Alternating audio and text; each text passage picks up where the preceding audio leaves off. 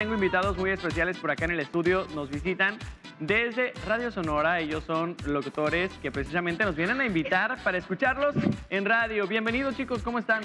Muy Hola, bien. bien, gracias. Bien, Muy bien. gracias. Oye, muy emocionados y precisamente de aquí hacia allá está Cindy. Me acompaña también Luisaldo, Emilio y Ángel. Ellos son conductores de Rayos y Centennials. Así es. A ver, Rayos y platícame un poco del nombre Rayos y Centennials. ¿Qué significa? Lo puso Daniel, pero ya no, ya no lo pudimos cambiar, así que pues ni modo. Tuvimos que quedar con él. así y nos No, dijeron, así- hagan Así eso se queda. Y ni modo. Y ni modo. y soporten. Toca No, pero ¿por qué le pusieron Rayos Centennials? Básicamente me dijo Daniel, quiero un programa que se llame Rayos y Centennials y tú lo vas a producir. Y se acabó. y Así. así empezamos. Entonces, pues dije, ¿quién me puede ayudar? Y fue como llegó Emilio. Emilio. De pues, la fue el primera primero. generación, ¿no? La primera generación, no, esto Ajá. no es K-pop. no. Ah, oh. ¡Ay, empezamos! Uy.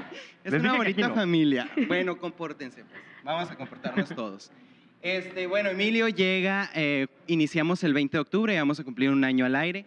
Este, y después Nicole estuvo también con nosotros, pero después la chica eh, tuvo que irse Los y eh, fue, abandonó. nos abandonó.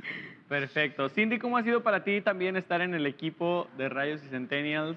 Pues fue Y- completamente una sorpresa porque, o sea, yo estaba estudiando comunicación, estoy estudiando comunicación actualmente, pero de repente. Emilio me menciona, ¿sabes qué? Vamos a hacer casting en Radio Sonora, ven para que lo hagas y pues dije, bueno, voy a ir, ¿qué importa si no quedo? Pues me quedo con la experiencia, ¿no?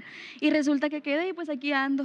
Oye, ¿los cuatro están estudiando o quién ya terminó? Ah, No. pues ni, ni vamos a terminar, así que no. Nos vamos a grabar en el 2028 2000 nosotros. Generación 2019-2026, si quiere. Así que. Eh, El, el propósito obviamente es terminar, ¿verdad? Para continuar, obviamente, pues en esta carrera y obviamente pues también dentro de radio. Y bueno, platícame un poquito acerca del programa. ¿Cómo se llama este proyecto que es y Centennials? Pero eh, obviamente, ¿qué conforma este programa de radio? ¿Qué es lo que se aborda? ¿Cuáles son los temas que tocan ustedes? Pues básicamente nosotros intentamos destruir la radio. Intentamos tocar temas que antes no se podían tocar o que estaban como en un estigma de tabú. Entonces nosotros decidimos llegar y romper este tipo de esquemas de radio, salirnos un poco más y recalcar temas sociales que estén pasando en la actualidad. Cubrimos todo el mes Pride y tuvimos, eh, todo junio estuvimos repleto de celebridades de aquí de, de Hermosillo que se dedican y que son activistas eh, de LGBT y hemos tenido un chorro de temas que se pueden considerar como controversiales o polémicos, pero siempre los hemos sacado a flote de una buena forma, porque más que nada es para informar, pero divertirnos al mismo tiempo que estamos informando.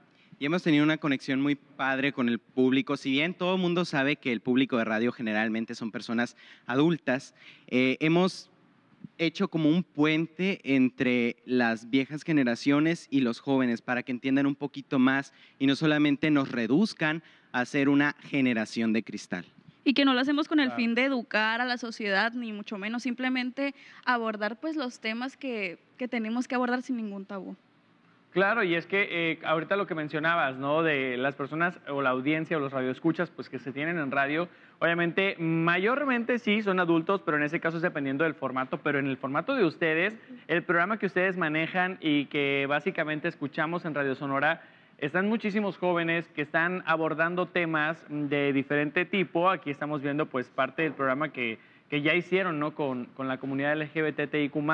Y bueno, ¿cómo ha sido esta sinergia, esta, esta pues compaginación entre ustedes, o sea, la unión Pues, entre ustedes? Pues hacemos como que nos caemos bien, nos vemos Estamos- todos los días. Hace unos momentos estábamos viendo ahí en la pantalla las imágenes de cómo es una de nuestras juntas de producción. La verdad, pues nos llevamos muy bien, ¿no? Digan que sí. Sí, No. sí, nos queremos mucho, nos encanta estar aquí. Oye, ¿y, y reciben ustedes invitados constantemente ahí en el, en el programa o, o regularmente eh, eh, los invitados los buscan o ustedes buscan a los Nosotros invitados? los buscamos, a veces nos llegan. De hecho, tenemos dos secciones en el programa, que una es Culturízate y otra es Sobre. Sobre, la Mesa. Culturízate viene haciendo ese lado como artístico, un poco más relajado, artistas musicales, personas, personalidades de internet o famosos, ¿no? Y ya el Sobre la Mesa son temas más serios, personas que se dedican ya sea a la medicina, a la política, activistas y etcétera. Así que tenemos esa dualidad.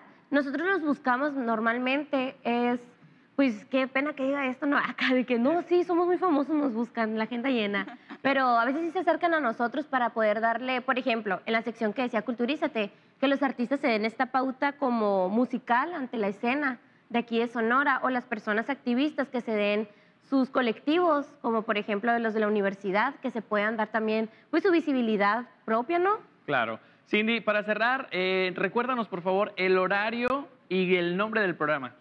Bueno, pueden ustedes escuchar en la 97.4. 94. 94.7. un error ahí, un error. Pero nos pueden escuchar los martes y los jueves de 6 a 7 de la tarde.